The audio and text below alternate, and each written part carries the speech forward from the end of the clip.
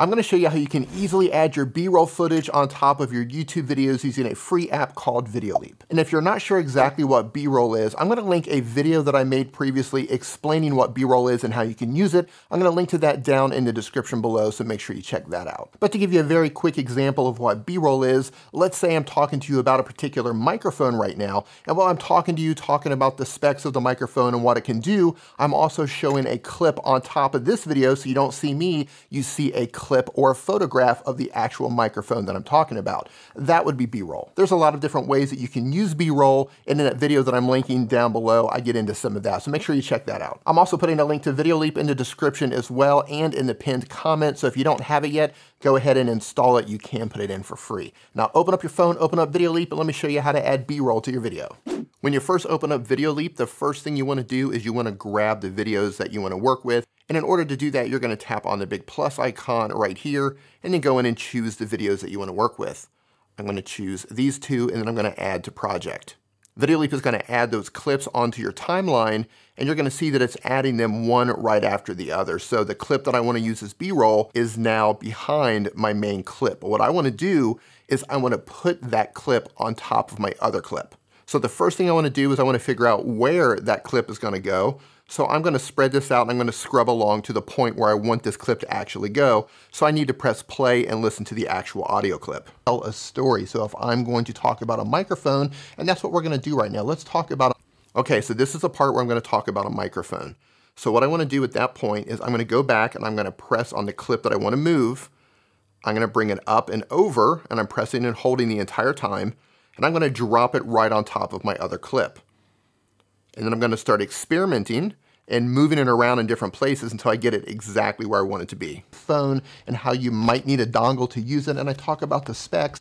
And to move it either left or right, I'm gonna simply tap on it and I'm gonna press and hold and move it back and forth until I find the right place for it. To use it and I talk about the specs, I'm gonna take that video clip. Okay, so I've got it in the right place.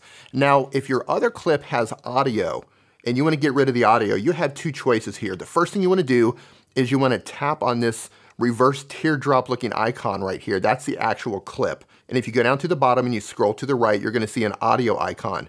Tap on that audio icon. At this point, you have audio control options.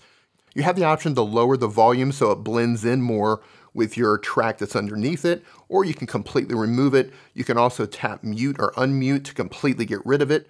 You can change the pitch. It also has an adjust feature, so if you want to play with the EQ a little bit to make it sound a certain way, you can do that. Or you can go all the way to the far right and you can tap on unlink, and now it's going to separate the audio clip completely. So now I can tap on that and I can move it out of the way. I can move it to a different part of the clip, or I can drag it and drop it down to the trash can down below, and it's going to delete the audio clip.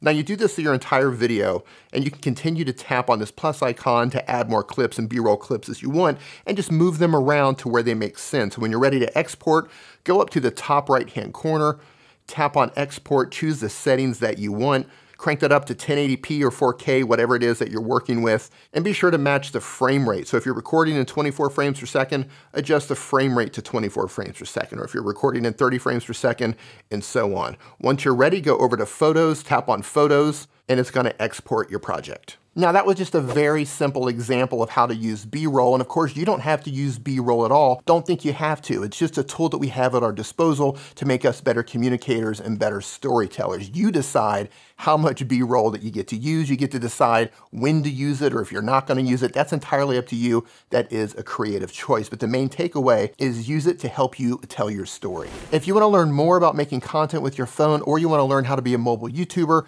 go ahead and hit that subscribe button followed by the notification bell so you don't miss out on future videos.